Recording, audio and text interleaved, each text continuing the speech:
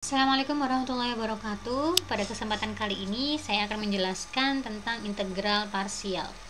Jadi kita mulai dari definisinya dulu. Jadi integral parsial itu adalah suatu metode untuk menyelesaikan integral jika menemukan bentuk integral seperti ini. Jadi integral dari fx kali gx dx. Jadi bentuk perkalian dari fx gx semacam ini. Oke, Caranya bagaimana integral parsial ini? Yaitu dengan memisahkan, misalkan fx-nya adalah u dan dv-nya adalah gx dx. Kemudian langkah selanjutnya jadi integral fx gx dx bisa kita ubah bentuknya menjadi integral dari u dv. Kemudian u kita cari turunannya yaitu du.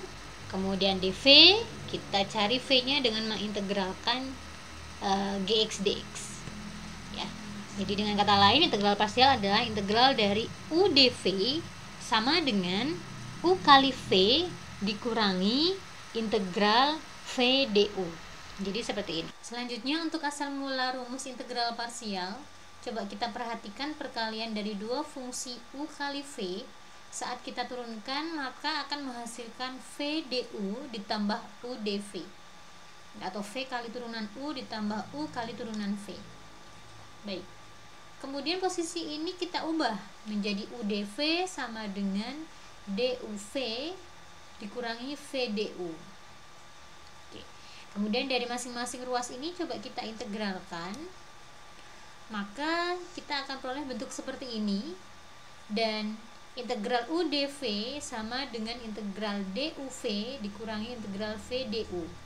Kita perhatikan bahwa integral DUV itu artinya sama dengan UV atau hasil dari integral ini adalah UV. Nah, dari sinilah asal mula rumus integral parsial yang bisa kita gunakan jika suatu integral tidak bisa kita langsung integralkan maupun tidak bisa menggunakan metode substitusi. Sehingga bisa kita coba menggunakan e, metode integral parsial ini. Oke, coba langsung saja kita ke contoh. Misalkan yang pertama adalah tentukan integral dari len 2x dx. Yang kedua, integral dari x kali len 2x dx. Nah, ini saya bedakan. Nanti kita coba lihat hasilnya. Yang pertama, integral dari len 2x dx. Langkah pertama adalah kita e, misalkan dulu, tentukan pemisalannya. Misal u sama dengan len 2x, maka kita peroleh du-nya sama dengan 1 x dx ya ini sesuai dengan rumus dari turunan uh, logaritma. Berarti turunan dari len 2x yaitu seper 2x dikali turunan dari 2x yaitu 2 jadi hasilnya seper x dx gitu ya. Nanti bisa dicek sendiri. Kemudian untuk dv itu sama dengan dx. Maka kita peroleh hasil integralnya yaitu v sama dengan x. Dengan menggunakan konsep integral parsial maka kita peroleh integral dari len 2x dx yaitu sama dengan UV U-nya adalah ini len 2x, V-nya adalah x, berarti x kali len 2x dikurangi integral dari VDU. V-nya adalah x, DU-nya adalah seper x dx. Nah, x kali seper x ini adalah 1, maka integral dari 1 dx tidak lain adalah x, sehingga ini ya hasil akhirnya. X kali len 2X dikurangi X ditambah C. Lanjut untuk e, contoh yang kedua, yaitu X kali len 2X dx. Nah, ini bagaimana pemisalannya? Misalkan kita buat tetap U-nya sama dengan len 2X, maka turunan dari U adalah seper X dx. Kemudian dv itu adalah sisanya, yaitu X dx. X dx. Berarti integral dari x dx adalah setengah x kuadrat ya. Integral dari x dx adalah setengah x kuadrat. Oke, tinggal kita selesaikan. Jadi integral dari x len 2x dx menggunakan integral parsial kita peroleh setengah x kuadrat len 2x ya. Jadi u kali v setengah x kuadrat len 2x dikurangi integral v setengah x kuadrat du nya adalah seper x dx seper x dx. Tinggal kita sederhanakan bentuknya jadi setengah x kuadrat len 2x dikurangi setengahnya bisa kita keluarkan karena konstanta kemudian x kuadrat kali 1 per x itu adalah x. Maka integral dari x dx adalah setengah x kuadrat ya setengah kali setengah seperempat nah kita peroleh hasilnya seperti ini. Oke kapan kita menggunakan integral parsial ini ketika menggunakan uh, metode yang lain tidak bisa jadi integral yang biasa tidak bisa tidak bisa langsung kita integralkan kemudian menggunakan metode yang substitusi juga tidak bisa, maka kita coba menggunakan integral parsial seperti itu. Dan ciri-cirinya tadi ada perkalian dari dua fungsi gitu ya. Kalau di sini berarti x dan ln 2x. Oke. Kemudian selanjutnya ada salah satu metode yang bisa digunakan selain menggunakan konsep dasar integral parsial tadi. Itu kita menggunakan bantuan tabel. Misalkan saya punya soal, tentukan integral dari x kuadrat e pangkat 3x dx. Ini tidak bisa kita selesaikan dengan cara substitusi ataupun integral biasa. Maka karena ini perkalian dua fungsi, ini merupakan integral parsial. Nah, metode yang ingin saya uh, yang ingin saya jelaskan yaitu dengan bantuan tabel. Jadi kita siapkan kolom pertama adalah kolom tanda kita mulai dengan plus minus plus minus gitu. kemudian kolom kedua diturunkan kolom ketiga diintegralkan nah ini kita harus pilih untuk yang diturunkan kita lihat mana dari kedua fungsi ini yang kalau diturunkan dia akan bernilai nol nanti pada akhirnya. Jadi kalau dilakukan turunan bertingkat dia akan menghasilkan nol. Mana di antara kedua fungsi ini? Nah kita e, harus jeli kita memilih salah satunya. Oke kita pilih yang x pangkat 2 kenapa? Karena saat x pangkat 2 diturunkan nanti pada akhirnya dia menghasilkan 0 seperti itu. Maka berarti yang ini kita integralkan E pangkat 3X kalau diintegralkan adalah sepertiga E pangkat 3X dan selanjutnya mengikuti hingga ini yang bagian diturunkan menghasilkan 0 kalau sudah seperti ini, selanjutnya adalah kita pasangkan.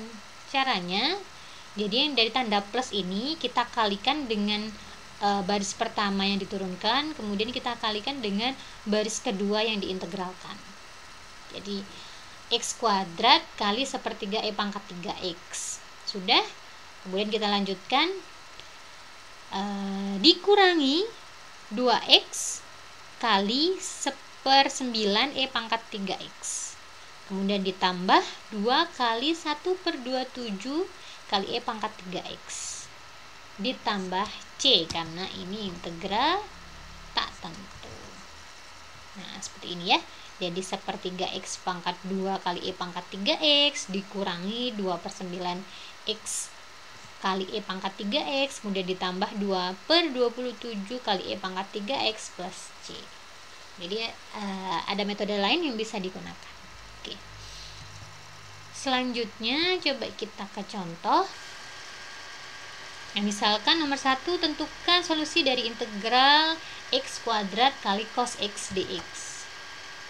Kemudian integral t kali secant kuadrat t dt. Coba kita selesaikan menggunakan metode yang kedua ini tadi pakai tabel. Jadi kita lihat bahwa x pangkat 2 ini bisa diturunkan hingga dia hasilnya 0 maka ini ada di kolom diturunkan. Kemudian yang diintegralkan berarti yang cos x. Kita integralkan integral dari cos adalah sin integral dari sin adalah min cos integral dari min cos adalah min sin. Seperti caranya sama seperti tadi. Kita peroleh hasilnya seperti ini. Ya. X kuadrat sin x ditambah 2x cos x. Kenapa tandanya positif di sini? Karena negatif kali negatif ya. Kemudian positif kali negatif negatif 2 kali sin x 2 sin x. Oke sudah kita dapatkan. Lanjut untuk yang nomor 2 dengan menggunakan tabel kita cari yang diturunkan itu adalah t karena dia hasilnya akhirnya 0 kemudian yang diintegralkan berarti secant kuadrat t. Integral dari secant kuadrat t adalah tan t integral dari tan t adalah len secant t. Berarti kita peroleh hasilnya yaitu seperti ini. Oke, selanjutnya coba kita selesaikan integral dari sin pangkat 3x dx. Kalau kita perhatikan bentuk integral ini tidak bisa kita selesaikan menggunakan integral biasa atau tidak bisa langsung kita temukan hasilnya. Tapi e, coba kita selesaikan menggunakan integral parsial karena menggunakan integral substitusi juga tidak bisa.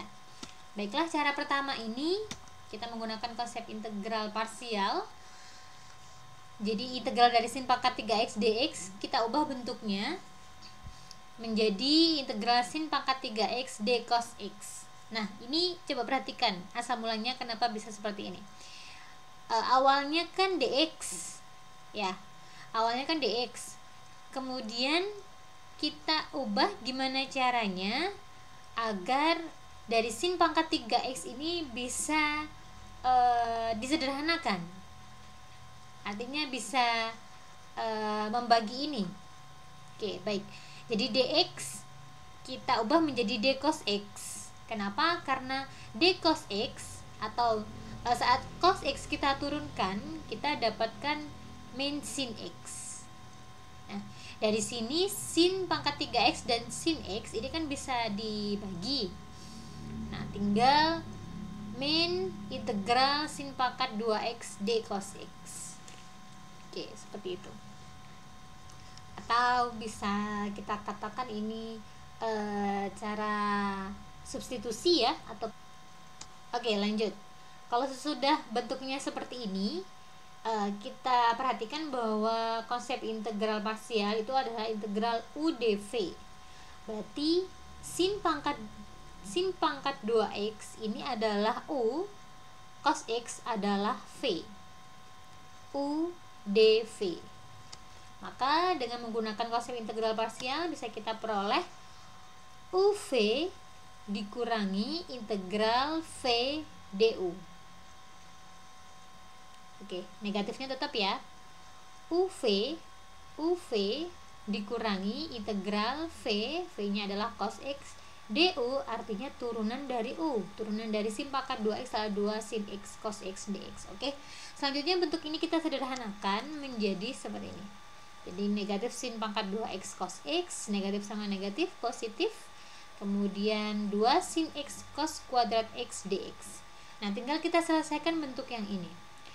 Kalau kita perhatikan bentuk ini itu sama dengan uh, kita memisahkan atau kita substitusikan uh, yang menjadi pemisahannya adalah cos x.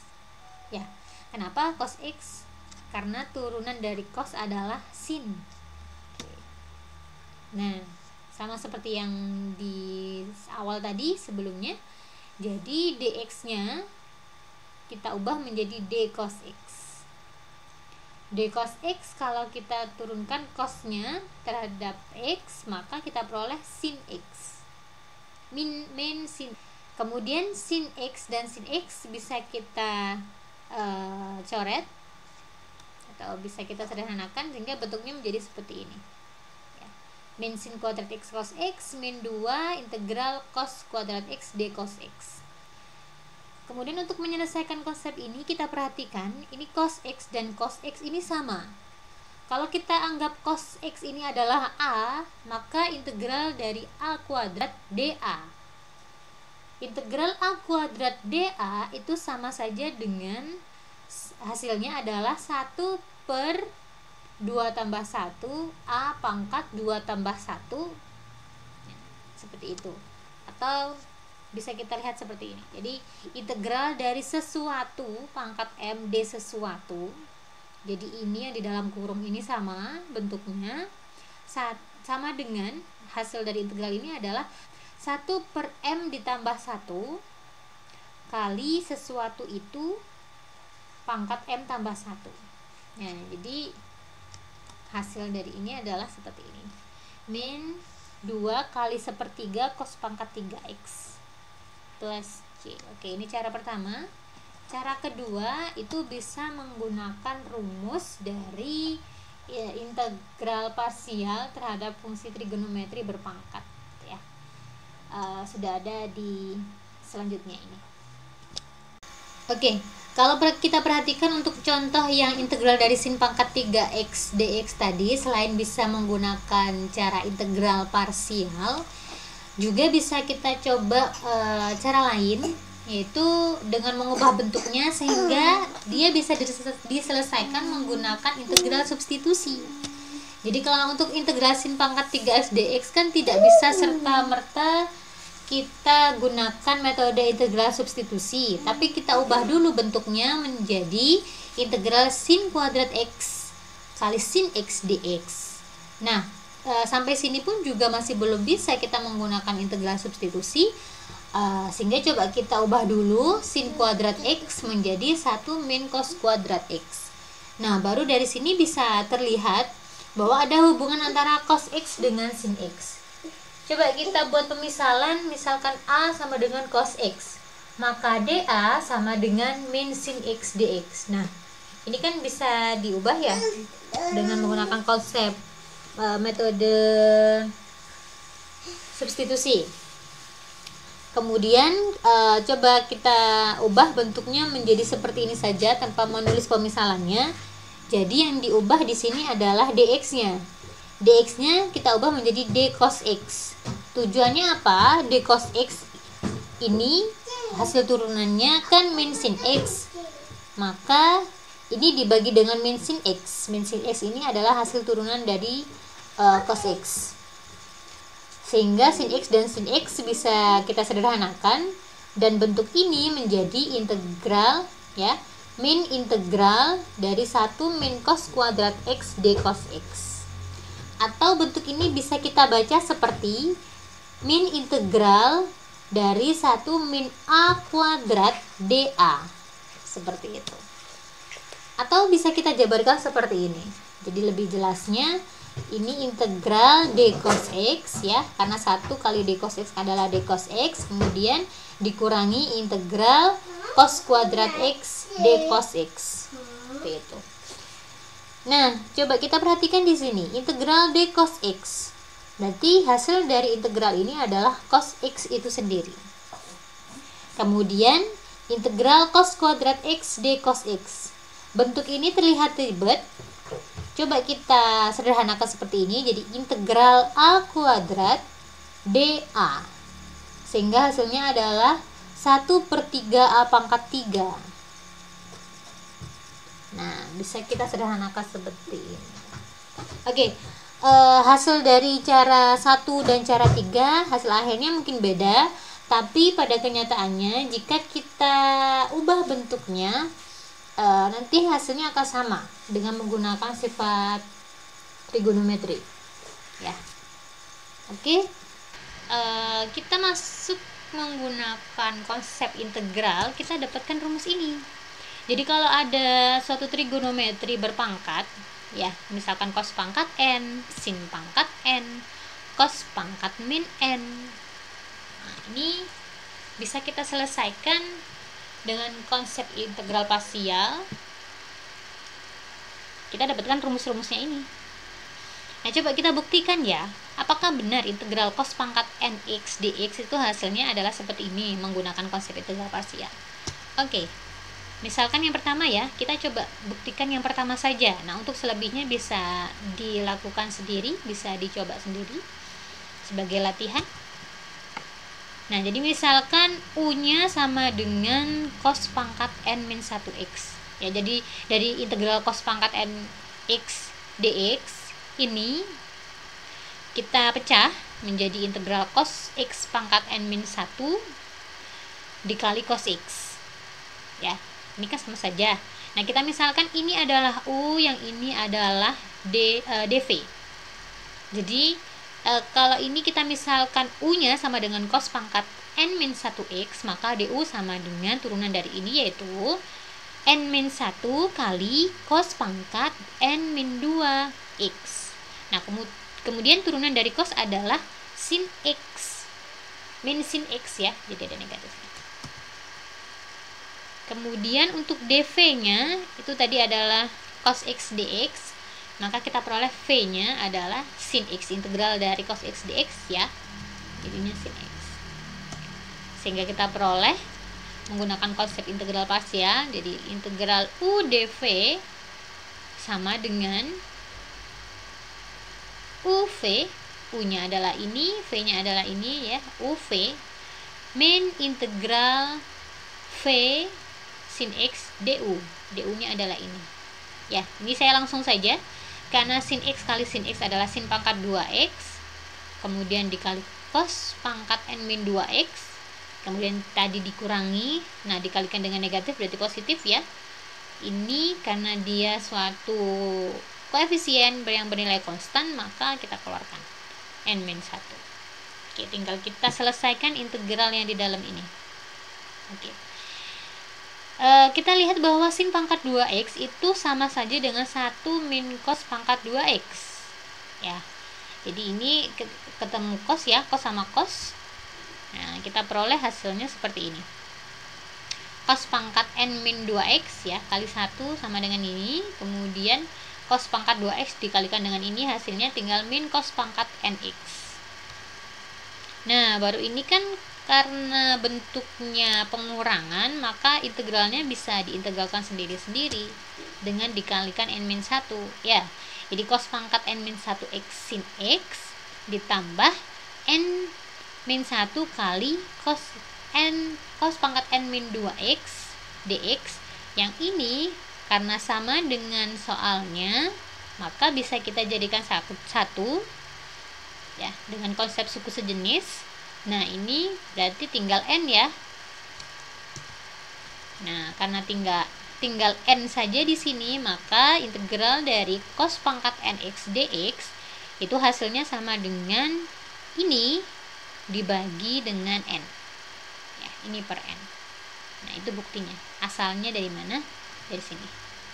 Oke nanti untuk pembuktian selanjutnya bisa dilakukan sendiri caranya sama dengan menggunakan konsep integral parsial. Tujuannya apa? E, rumus ini. Jadi kalau misalkan ketemu soal seperti ini misalkan integral dari cos pangkat 5x dx nah tinggal dimasukkan saja di sini. Berarti n nya tinggal diganti dengan 5 dan seterusnya. Tinggal diselesaikan. Contoh? Jadi integral dari cos pangkat 4 x dx. Menggunakan konsep tadi berarti uh, n nya tinggal diganti dengan angka 4 ya. Tinggal disederhanakan aja ya ini berarti pangkat 3 yang ini 3 yang ini 2 nah kalau integral dari cos pangkat 2x dx kan ini tidak bisa. Maka kita ubah dulu bentuknya. Kita punya bentuknya yaitu cos pangkat 2x itu sama dengan setengah ditambah setengah cos 2x gitu. Nah dari sini baru bisa diintegralkan. Integral dari setengah adalah setengah x integral dari setengah cos 2x adalah setengah yang ini dikali uh, setengah sin 2x ya integral dari cos sin Oke. Seperti ini hasilnya. Begitupun kalau untuk yang integral dari sin pangkat 4t dt. Sama saja. Tinggal disederhanakan bentuknya. Oke. Tinggal diselesaikan ya. Oke, demikian penjelasan untuk hari ini terkait integral parsial. Semoga bermanfaat. Assalamualaikum warahmatullahi wabarakatuh.